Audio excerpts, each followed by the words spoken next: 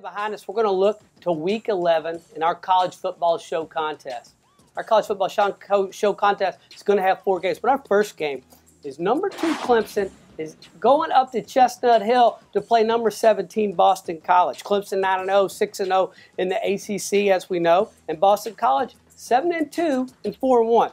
Two different teams, but 28th meeting between these two goes back to the 1940 Cotton Bowl. Clemson leads 16 9 to 2. Here's what you got to know about Boston College, though. Boston College is 0 for 12 when they are playing a top five team at home.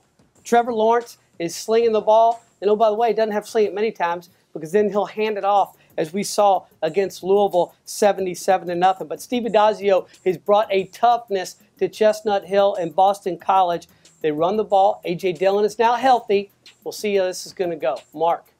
Hey, don't discount Louisville. They scored 16 points in that game. They put some points on the board. Come on, Kevin, give them a little love. I'm sorry. Give I know. I'm a card fan. Give them a little love. What's up? but, but if you look at this offense for Clemson, they are unstoppable. They can throw it, they can run it, doesn't matter. They had three running backs over 100 yards in this game. If you look at Clemson in their last four games, they outscored their opponents 240 to 36. Think about that. That's just dominating the opposition, whether it be by the run, by the pass. And if you look at their defense, they've been outstanding on their defense. They've only given up an average of nine points a game their last four games. You look at their defensive coordinator, Brent Venables, has done a terrific job. But playing at Boston College is tough, coach. Steve Addazio always has a physical football team with A.J. Dillon. They're going to run the ball and pound the rock and try to keep away from Clemson. It's going to be closer than most people think, but Clemson still runs away with this by three touchdowns, 41 to 21. Well, I think that Boston College is a very, very difficult place to play. I'm taking the team up there there's only about 30 some thousand fans, but they're right on top of you, and the students are very, very enthusiastic. But I, I, agree with you about Clemson, Mark. You know, they remind me so much of Alabama. They have outstanding quarterback in Trevor Lawrence. They can run the football. They have a good offensive line, but their defense is absolutely outstanding, much like Alabama. So you look at Clemson, but you look at Boston College, the, the fact that. Uh, is Dillon going to be able to run the football, and how effective is going to Brown, their quarterback, going to be? I look for Clemson to win this football game 31 21. I will not be surprised, though, if it isn't much closer, because that is a very hard place to play. Well, you gentlemen have uh, both been up there, some to watch, some to coach, some to play. But I'll tell you what's going to be tough to play. It's called Bedlam. And you kind of say records are out the window, but Oklahoma State is going to play number six Oklahoma in Norman. You got the Boomer Sooner thing going out there, and then you've got the Oklahoma State mascot, which uh, gives a lot of kids nightmares. But Oklahoma, we just said Kyler Murray, 31 touchdowns on the year, but this new uh, new and improved Ruffin McNeill defense. We'll see how that's going to go because Taylor Cornelius, as we saw from Oklahoma State, hey, they beat Texas, and Oklahoma State can also run the ball, play a little bit of defense, and they coach has a good looking mullet. So you never know what's going to happen in Bedlam down there in Norman. Mark, talk to us. I don't know if I've ever seen a good looking mullet, Kevin, but he does have a head of hair there. I had one in the 80s, Mark. It was awesome.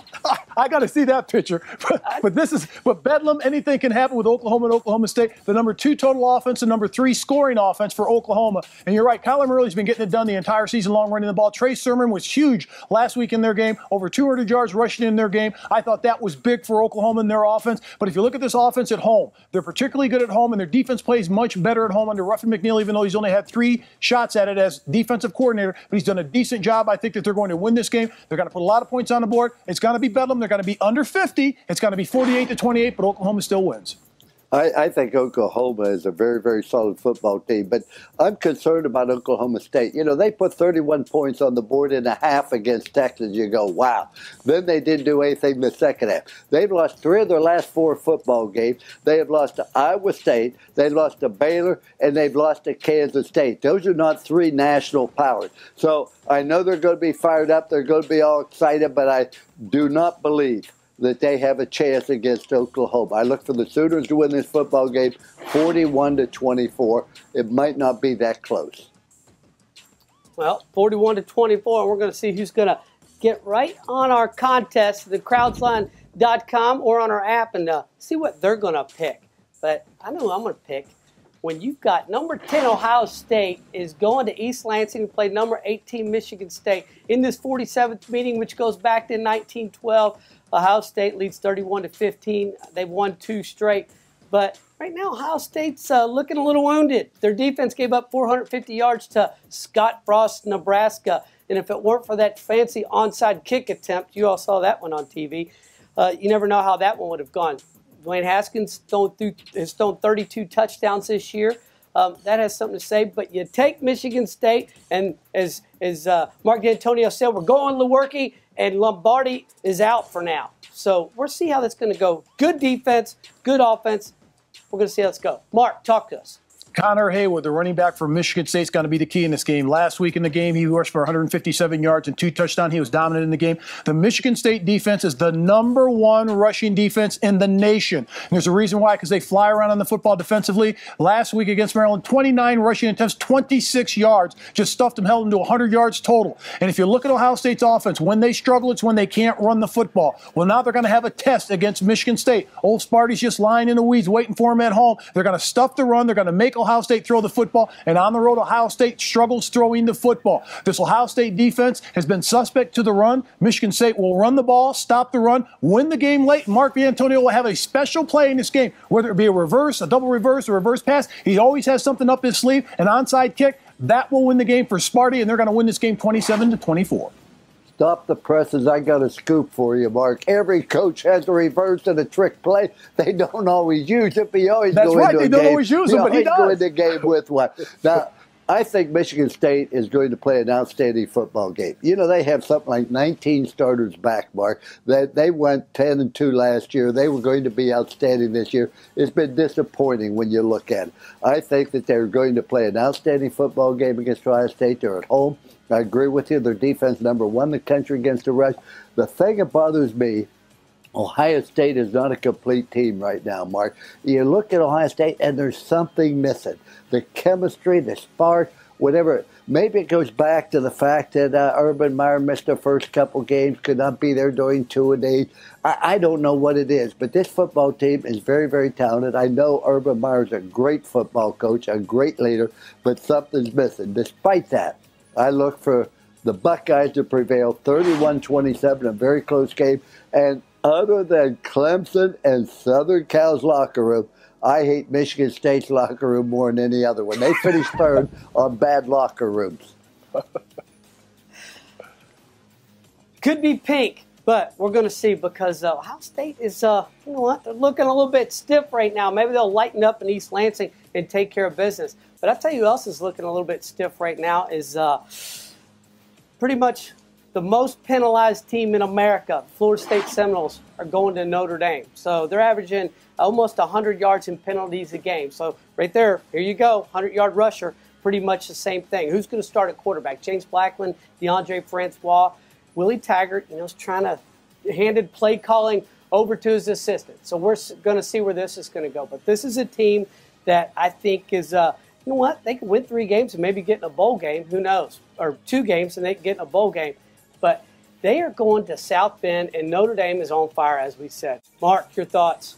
This should be one of those games where the Fighting Irish coach, you know, just roll the helmets out on the field, the Golden Domers. It's going to be easy for them. They're going to be about a 30 point favorite in this game. They should roll over old lowly Florida State because Florida State, they've lost the team. Players have quit on Willie Taggart. He's substituting players in the game. There's no chance for Florida State in this game because they're traveling, they're playing at Notre Dame. But watch out. These players have a lot of pride. This is a chance for Willie Taggart to tell his team to rise up and play. We want to see what you what you got, guys, because guess what? I'm going to be here next year, regardless of what happens this year. And if you don't start playing Florida State football, you're going to be on the bench. That's the one thing coaches have. They've got the power to take away your playing ability and your playing time. Florida State will play hard in this game, but they won't beat Notre Dame. Notre Dame will still win this game 33 to 27, coach. But it'll be closer than most people think.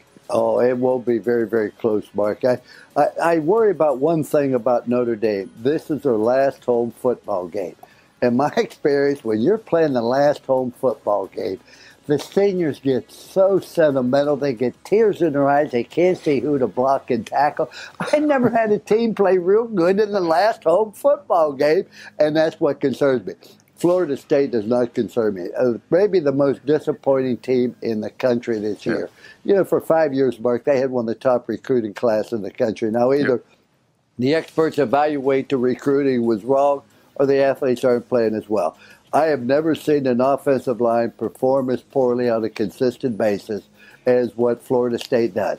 Last year they gave up all kinds of sacks. This year I think they've given up 27 sacks. They have one of the best running backs in the country. Sophomore Cam Akers last year in about eight games he rushed for over a thousand yards. He can't even average two yards a carry. So I think that until they get their offensive line straightened away, they have absolutely no chance. Notre Dame wins this 45-14. This is Mark May. Even with Ian Book out with the injury, Brandon Wimbush should be able to direct the Irish offense to a victory over Florida State. They're not going to be as prolific passing the football, but they'll be a better running football team. And plus, the Irish defense is a top-notch defense, and they should continue their undefeated streak throughout the season. You're at 45-14. So uh, go to the app and uh, see if you can just match Coach's prediction. But I'm telling you right now, they're 17th in rushing defense, Florida State is. We're going to see. And I think for Notre Dame, one thing not to overlook Notre Dame is one of the few teams in the country that has three games remaining, all of them against teams with 85 scholarship players. They got Florida State, then they got Syracuse in Yankee Stadium, and then they got USC. So this is going to be a, you know, might be a tough test, and there's two ones after that. So that wraps up our Week 11 college football show contest. So go to the app, go to thecrowdsline.com log in, pick your team, and you know, pick match coach. But more importantly, let us know. Comment. Say, you know what? I beat Coach. I beat Mark, and uh, we're going to shout your name out. I, with I, that. I won coach, eight and one last week. I only lost because of a 33-yard pass with 16 seconds to go, or I'd been nine and zero. Oh. Well, Coach, what do they say? Play till the whistle ends. They didn't listen. So that's how it goes.